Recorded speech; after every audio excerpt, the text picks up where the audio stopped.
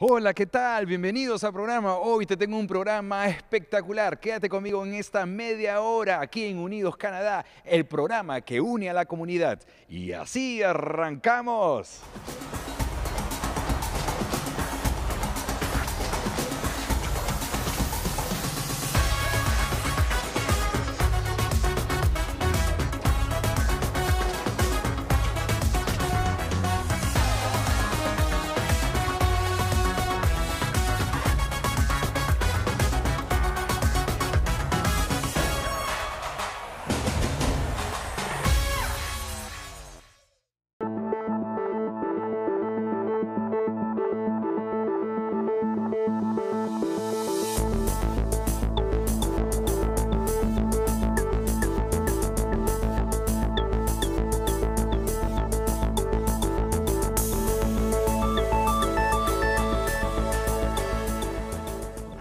Es un placer estar con el cónsul de Colombia, que a pesar que es cónsul, pero tiene un carácter sumamente sublime. Cristian Mauricio, ¿cómo estás? Bienvenido al programa. Eh, muchas gracias, te agradezco no, muchísimo. No, encantado de conocerte. Eh, pues ya te habíamos visto por televisión antes. Como te decíamos, en mi casa somos fans de Univision. Qué bueno, qué bueno. ¿Cómo si la, la Embajada de Colombia se está eh, integrando a este tipo de eventos?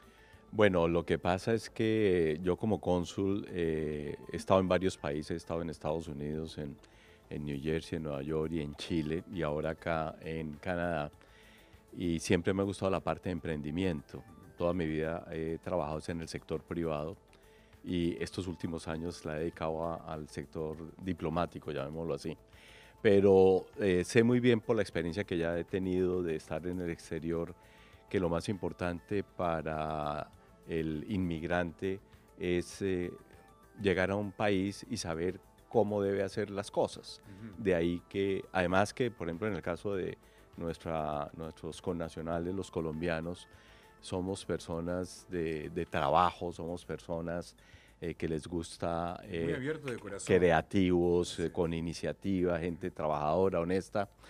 Y con eso, pues realmente lo que ayudamos y lo que yo quiero hacer es ha- hablar de emprendimiento y en el consulado estamos haciendo bastantes eh, programas dirigidos al adulto mayor, dirigidos a, a las mujeres, eh, a los jóvenes y también lo estamos haciendo con, o sea, nos estamos integrando con consulados latinoamericanos también como para hacer un peso un poquito más fuerte en Canadá ante el gobierno canadiense y la verdad hemos tenido muy buena recepción y además que Canadá es un gran país definitivamente es un gran país donde nos ha abierto las puertas a todos nosotros y yo creo que estamos eh, sencillamente eh, aprovechando de, de todos los beneficios que, que nos brindan, ¿no? Qué maravilla, qué maravilla. Yo sé que esta pregunta está fuera de concepto, pero me han contado que Cristian cocina una bandeja paisa increíble, ¿es verdad? No, no, yo me la como, pero no la... No, la cocina, la cocina la señora que está ahí, ¿eh? Sí, claro. Qué bella, qué bella. No, muchas gracias por haber estado en el programa y gracias por la información No, que nos está dando. muchísimo. Y de verdad que los felicito porque ustedes de verdad forman parte de esta, de esta herencia eh, hispana que tenemos aquí en el mundo, Muchas realmente. Muchas Estamos- gracias. Bendiciones. Bueno, gracias. Igualmente, gracias.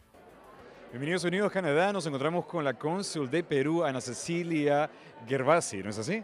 Así es, Lo dije bien. Así es, encantada. Feliz de tenerte en el programa. Cuéntanos un poco acerca de cómo así la Embajada de Perú se está integrando dentro de esta noche de Hispanote. Bueno, eh, yo soy la cónsul general del Perú, ¿verdad? Eh, el consulado eh, está desarrollando precisamente una plataforma virtual para apoyar a los emprendedores de la comunidad peruana e hispana y nos interesa particularmente eh, el enfoque de innovación. Así que este evento para nosotros es espectacular. Eh, ya he conversado con los organizadores y vamos a ver la manera de colaborar porque esa es la idea, es apoyar a nuestros emprendedores y, y el componente de innovación tecnológica que es tan importante para nuestros países, ¿no? Para Perú y para los países hispanoamericanos. Y así es, ahora mismo ¿no? la tecnología está a punto, así que sabes que tenemos que estar con la tecnología, si no nos quedamos atrás en la historia. No, exactamente. Y este programa de mentorship también me parece fabuloso.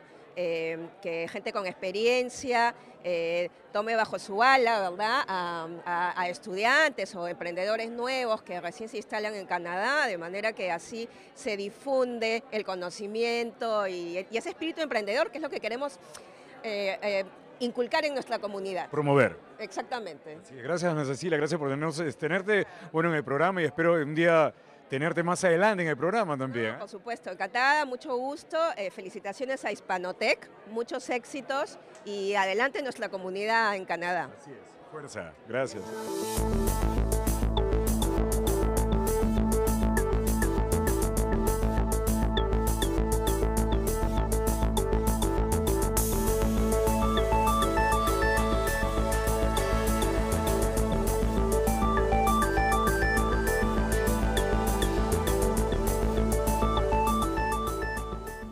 Tengo el placer y honor de estar con la señora Silvana de Montes de Oca, Silvana Montes de Oca, cónsul de Uruguay. ¿Cómo está? Bien, bien, muy contenta de participar hoy en este evento, que por primera vez, eh, bueno, estamos este, formando parte de, de, del evento de Hispanotech y con mucha expectativa y, y agradecida a Gabriel Sorozábal, que es un con nacional también que está en esto, así que bueno, disfrutando. Por eso, es verdad, en, mucha, en muchas ocasiones he visto que eh, de repente el, eh, el, cónsul de Argentina o el cónsul, en este caso de Uruguay, no está interviniendo en, en eventos como este y se debe a que eh, se olvidan de esta gente o que no sé se qué les pasa. Entonces hay que preguntarle a los organizadores. Voy a hacerlo, voy a hacerlo. Un tirón de oreja. Un tirón de oreja. La intención aquí es, es que, que, estemos unidos como comunidad y es muy importante para mí en esta oportunidad tener a la cónsul de Uruguay frente a cámaras.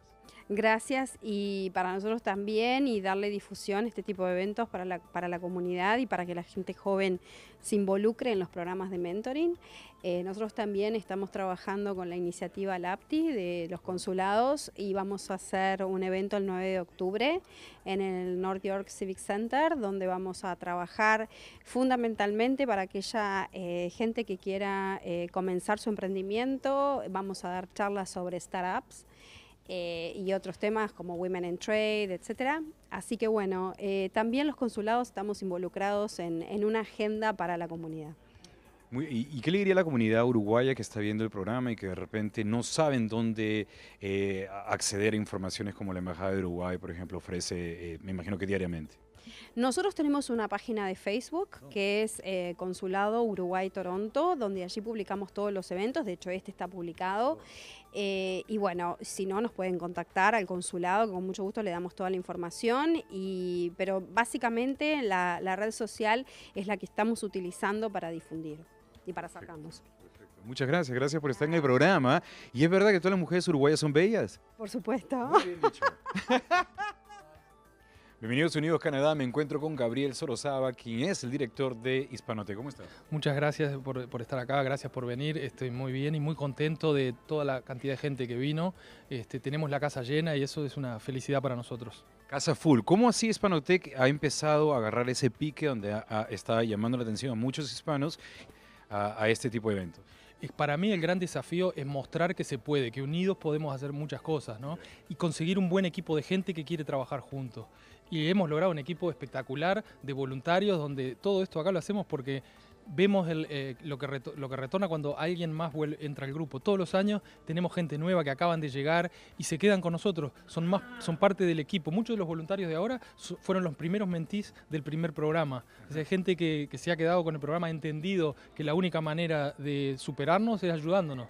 Y juntos podemos hacer muchísimas cosas. Y esto es un, eh, una demostración del, del, poder que tenemos eh, como, como hispanos y, y, y todos juntos, ¿no?